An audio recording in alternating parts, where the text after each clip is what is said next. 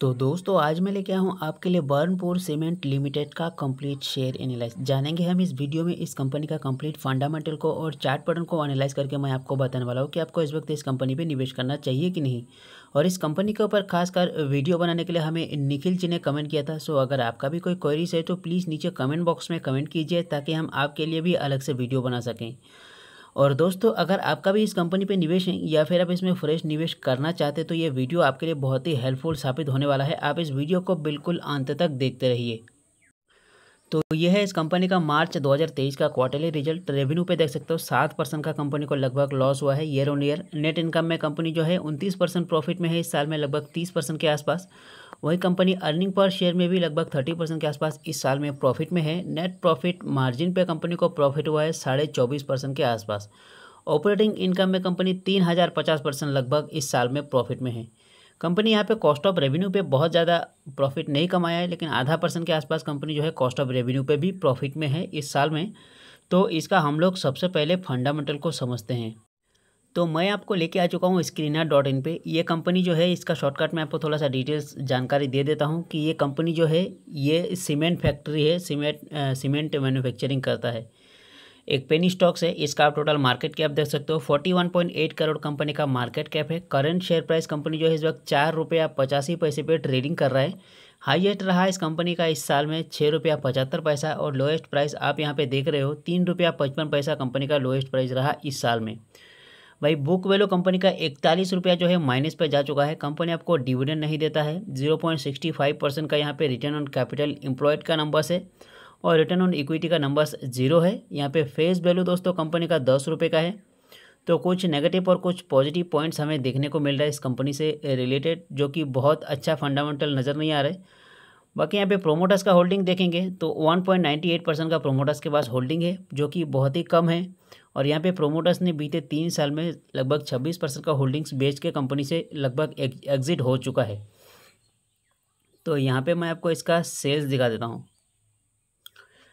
तो जून के क्वार्टर में आप देख सकते हो फोर्टी सेवन करोड़ कंपनी का एक्सपेंस हुआ है जून 2023 के क्वार्टर में, और यहाँ पे सेल हुआ है पचास करोड़ का। तो कंपनी जो है ऑपरेटिंग प्रॉफिट में यहाँ पे देख सकते हो तीन करोड़ प्रॉफिट में है।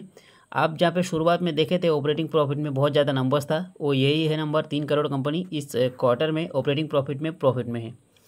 नेट प्रॉफिट देखेंगे इस क्वार्टर में तो इस कंपनी का जो पिछले साल में नेट प्रॉफिट था, वो बारह करोड़ का लॉस पे था कंपनी और यहाँ पे देख सकते हो इस क्वार्टर में कंपनी को अठारह करोड़ लॉस हो चुका है। ठीक है तो बारह करोड़ से अठारह करोड़ लॉस पे आ चुका है। ओवरऑल कंपनी लॉस पे ही है, और फ़िलहाल और भी लॉस ज़्यादा बढ़ चुका है, ये आपको दिमाग में रखना है। और यहाँ पे ईयर ऑन ईयर में आपको दिखा देता हूँ इसका नंबर्स इस साल में कंपनी का एक्सपेंस हुआ है एक सौ अठावन करोड़ का और सेल हुआ है यहाँ पे एक सौ पैंसठ करोड़ का। तो कंपनी सात करोड़ जो है ऑपरेटिंग प्रॉफिट में इस साल में प्रॉफिट में है। लेकिन नेट प्रॉफिट देखेंगे तो पिछले साल की तरह ही इकहत्तर करोड़ पिछले साल में लॉस पे था। इस साल में भी इकहत्तर करोड़ कंपनी को जो है इस साल पे लॉस हुआ है। यहाँ पे कंपनी का सेल्स ग्रोथ थोड़ा बहुत ठीक ठाक मान के चलते हैं, लेकिन यहाँ पे प्रॉफिट ग्रोथ का नंबर्स माइनस पे है। सी का भी नंबर्स नेगेटिव है और ओवरऑल रिटर्न ऑन इक्विटी का नंबर्स ज़ीरो है। तो एक प्रॉपर पेनी स्टॉक्स का फंडामेंटल है दोस्तों। पेनी स्टॉक्स में कुछ अच्छी और कुछ नेगेटिव पॉइंट्स भी देखने को मिलता है। ये कोई बड़ा स्टॉक्स नहीं है जो आपको हर चीज़ प्रॉपर मिलेगा। लाइबिलिटीज़ और एसेट पे भी हमें नेगेटिव देखने को मिल रहा है। दो सौ पैंतीस करोड़ से इस वक्त जो है दो सौ सत्रह करोड़ हो चुका है लाइबिलिटीज़ और एसेट तो ये चीज़ें आपको भी ध्यान रखना है। और यहाँ पे आपको शेयर होल्डिंग पैटर्न दिखा देता हूँ। One point ninety eight percent promoters के पास इस वक्त होल्डिंग है और ninety eight point zero one percent public का होल्डिंग है। ठीक है? तो एक बहुत ही रिस्की फंडामेंटल है। मतलब फंड एक, एक तरफ़ से देखा जाए तो कंपनी का फंडामेंटल एकदम तो ना के बराबर है। बट पेनी स्टॉक से तो यहाँ पे फंडामेंटल ज़्यादा मैटर नहीं करता है। सिचुएशन ज़्यादा मैटर करता है। तो हम लोग इस कंपनी का जो है चार्ट पैटर्न को भी थोड़ा बहुत एनालाइज कर लेते हैं देखते हैं क्या रिज़ल्ट निकलता है।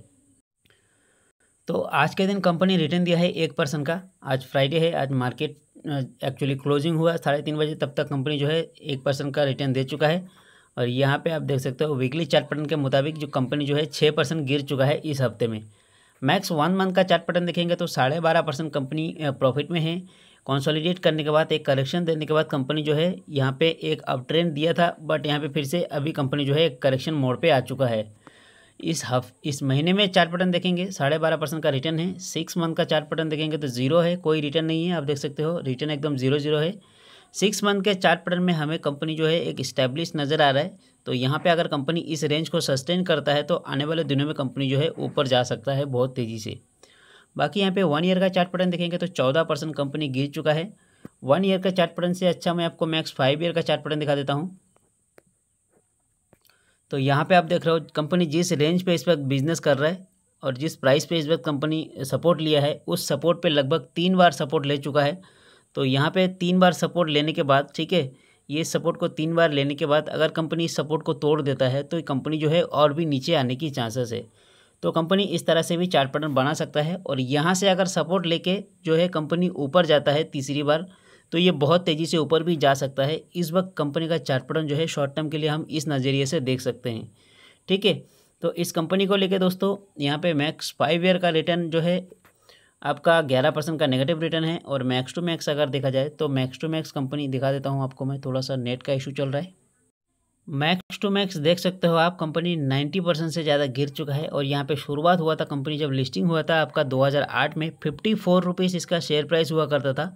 फिफ्टी फोर का शेयर गिर के नौ दस रुपये पे लगभग 2008 से लेके 2017 तक जो है ट्रेडिंग किया एक ही रेंज पे। ठीक है, बहुत साल लगाया है कंपनी इसी रेंज पे। उसके बाद कंपनी का लोगों को लगा कि नहीं, यहाँ से कंपनी जो है ऊपर जाएगा।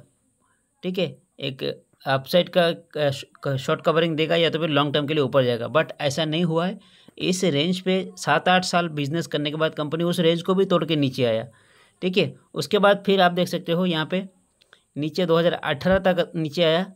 मतलब यहाँ पे देख सकते हो कि ग्यारह बारह रुपये का शेयर यहाँ पे फिर पाँच रुपये पे आ चुका था। उसके बाद कंपनी 2019 में ये जब कोरोना आया था, आप देख सकते हो, एक रुपये से भी नीचे आ चुका था। बट फाइनली कोरोना के बाद कंपनी ने कवर कर चुका था अच्छा खासा, सात आठ रुपये पे कंपनी ट्रेडिंग कर रहा था। फ़िलहाल कंपनी जो है चार रुपये पे ट्रेडिंग करता है ट्रेडिंग कर रहा है। और यहाँ पे देख सकते हो जो चार्ट बनाया है, आपका 2017-18 में उस सेम चार्ट पैटर्न आपको वन ईयर का चार्ट पैटर्न पे भी दिख जाएगा। ये सेम चार्ट पैटर्न बनाया है अभी। तो यहाँ से हम कह नहीं सकते कि कंपनी ऊपर ही जाएगा। ठीक है, अगर नीचे आता है तो कंपनी और भी नीचे आ सकता है। और अगर ऊपर जाता है, ठीक है तो इस तरह से ऊपर जाता है तो ऊपर जाने के बाद अगर सस्टेन करता है तो हम लॉन्ग टर्म के लिए इस कंपनी के साथ जा सकते हैं। ये हमारा पॉइंट ऑफ़ व्यू है। इस वक्त जो कंपनी का चार्ट पैटर्न है, ये कन्फ्यूज़न चार्ट पैटर्न है। नीचे भी जा सकता है, ऊपर भी जा सकता है। ठीक है तो ऐसे सिचुएशन पे कभी भी जब आप नए इन्वेस्टर हैं, जब आपको वो ज़्यादा कुछ जानकारी नहीं है तो ऐसे सिचुएशन पे कभी भी लॉन्ग टर्म के लिए निवेश नहीं करना चाहिए, ना ही शॉर्ट टर्म के लिए। यहाँ पे तीन बार बनाया है अब ट्रेन का बट तीनों बार कंपनी जो है फेल हो गया है अब ट्रेंड उसके बाद कंपनी अगर यहाँ पे थोड़ा सा ऊपर ज़रूर आ चुका है बट यहाँ पे अगर सपोर्ट लेता है सपोर्ट लेके कंपनी ऊपर जाता है तो तो ही आप यहाँ पे तुरंत जो है बाय कर सकते हो, नहीं तो इस कंपनी को लेके इस वक्त हम बियरिश हैं। इस वक्त इस कंपनी में जो है हमें नेगेटिव नज़र ज़्यादा आ रहा है और पॉजिटिव कम। तो ये हमारा पॉइंट ऑफ़ व्यू है। इस कंपनी को लेके आपका क्या पॉइंट ऑफ़ व्यू है कमेंट बॉक्स में ज़रूर बताना। वीडियो अगर अच्छा लगे तो एक लाइक करना, अपने दोस्तों को शेयर करना। दोस्तों, मिलते हैं अगले वीडियो में एक और ऐसे ही जानकारी के साथ। हमारी वीडियो को अंत तक देखने के लिए आपका बहुत बहुत धन्यवाद।